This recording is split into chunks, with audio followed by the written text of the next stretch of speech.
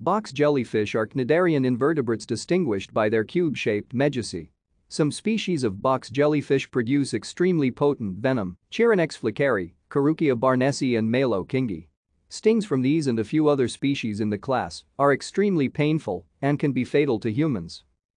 At least 51 species of box jellyfish were known as of 2018. These are grouped into two orders and eight families. A few new species have since been described, and it is likely that additional undescribed species remain. Class Cubozoa.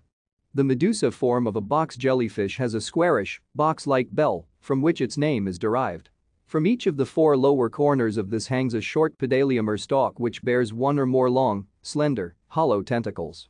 The rim of the bell is folded inwards to form a shelf known as a velarium which restricts the bell's aperture and creates a powerful jet when the bell pulsates.